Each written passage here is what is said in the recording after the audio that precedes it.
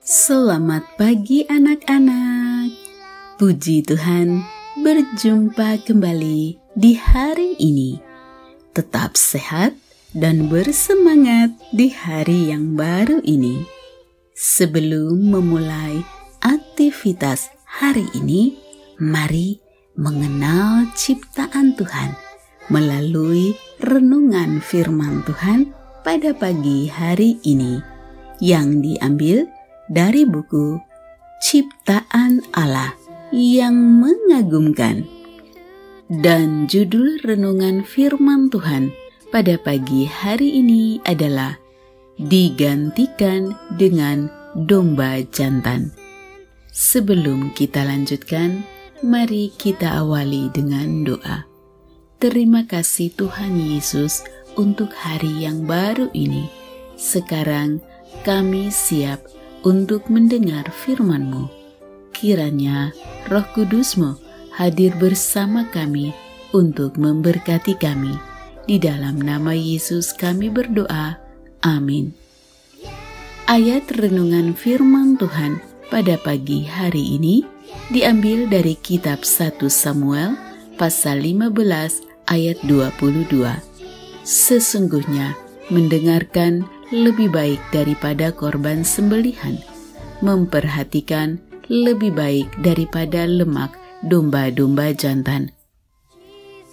Anak-anak, dalam masa Perjanjian Lama, umat Allah mengorbankan domba sebagai persembahan kepada Allah.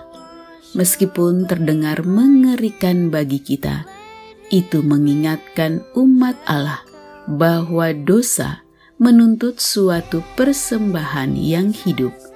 Seekor domba yang tidak bersalah dikorbankan sebagai pengganti Yesus.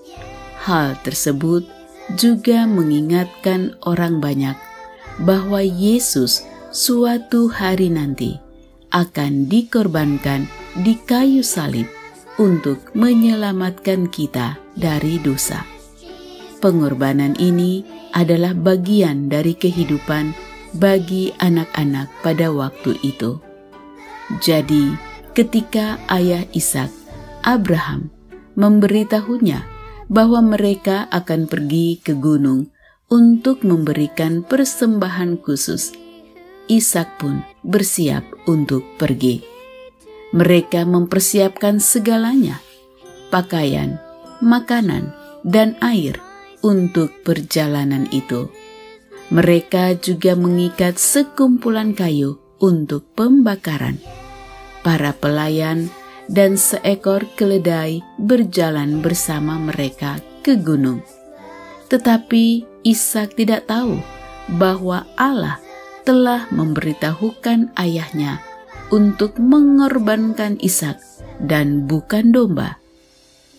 Jika mengingat cerita Abraham dan Sarah.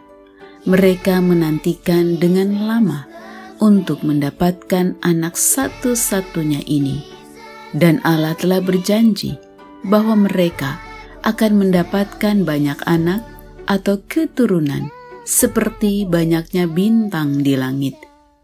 Abraham pastilah bertanya, "Mengapa Allah hendak mengambil anak mereka ini?"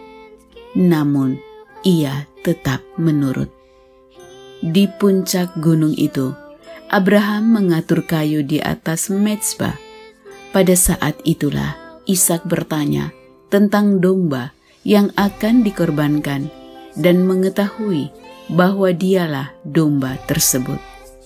Pastilah ia ketakutan, tetapi Ishak membiarkan Abraham mengikatnya di atas mezbah di tempat domba seharusnya ditaruh. Hati Abraham hancur, tetapi ia mengangkat pisaunya tinggi-tinggi.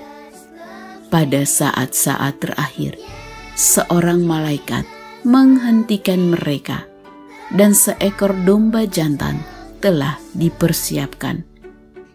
Anak-anak, oleh karena Abraham dan Ishak mengerti rencana Allah, mereka mau menuruti tugas yang paling berat sekalipun.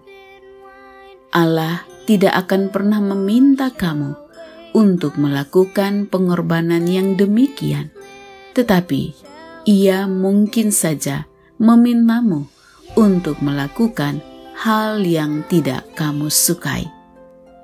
Jika itu terjadi, berdoalah bahwa kamu mempercayai Dia seperti yang dilakukan oleh Abraham dan Ishak. Anak-anak yang dikasihi Tuhan Yesus, demikianlah renungan firman Tuhan pada pagi hari ini. Sebuah pesan rohani yang dapat kita ambil pada pagi hari ini adalah di puncak gunung itu, hati Abraham hancur karena ia harus mempersembahkan anak satu-satunya Ishak.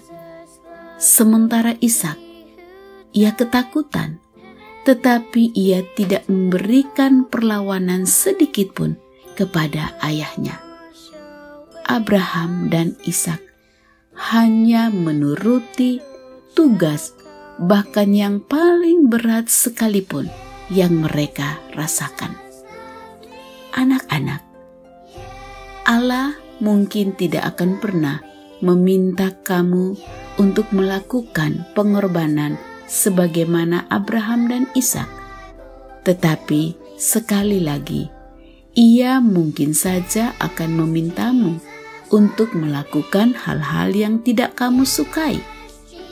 Oleh sebab itu, belajarlah dari Abraham dan Ishak bahwa jika itu terjadi kepadamu, maka berdoalah bahwa kamu akan mempercayai Dia sebagaimana Abraham dan Ishak mempercayai Tuhannya.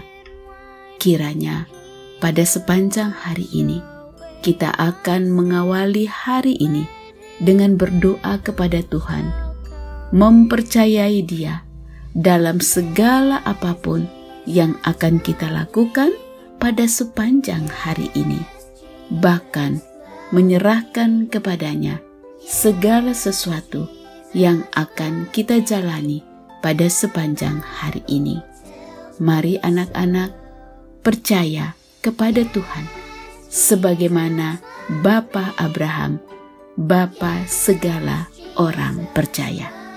Kiranya Tuhan Yesus memberkati dan melindungi anak-anak sekalian pada sepanjang hari ini. Amin.